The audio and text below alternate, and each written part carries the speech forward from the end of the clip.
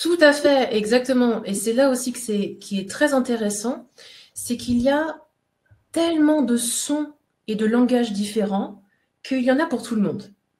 Par exemple, certaines personnes ne vont pas euh, adhérer à mes langages de lumière, mais vont adorer, par exemple, euh, des langages de lumière chantés, qui sonnent comme des langages indigènes, de natifs américains, africains, tibétains, celtiques, ou d'autres langages asiatiques. Il y a des langages qui sont aussi très angéliques, des langages qui sont terrestres, comme des, sons de baleines, des sons d'animaux, des dauphins, euh, des sons qui sont très cliquetés galactiques. Et là, il y a plein de confédérations galactiques euh, que l'on peut rencontrer. Donc moi, je suis très euh, au Conseil galactique, les hauts royaumes angéliques, et je travaille aussi avec l'intraterre, les hauts royaumes de Gaïa. Et on peut aussi apprendre à canaliser la conscience de la source, la conscience de Sophia, qui est donc la version féminine de la source, ah, les fées, les élémentaux, les ancêtres. Hum, ça peut être des chuchotements, ça peut être des sons, et comme je vous disais aussi, ça peut donc être des danses, une expression corporelle différente.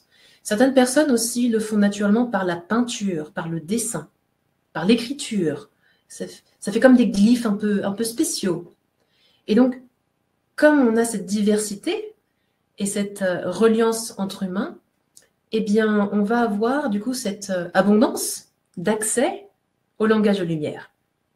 Et on peut apprendre du coup à canaliser son champ d'âme et différents conseils galactiques, différents hauts conseils de lumière, en fonction de notre famille d'âme. Nous, naissons chacun avec une famille d'âme, et donc avec certains guides, et plus nous montons en fréquence, plus nous montons en conscience, plus nous avons accès à d'autres guides. Ce pas des nouveaux guides, c'est simplement qu'ils étaient là, mais on n'était pas encore prêt à accéder à ce niveau vibratoire de guidance. Donc, on va développer autre chose. Donc, dans mes accompagnants, par exemple, j'aide les personnes qui ont déjà accès à leur langage de lumière à expanser, à monter euh, dans, une autre dans une autre fréquence leur langage de lumière.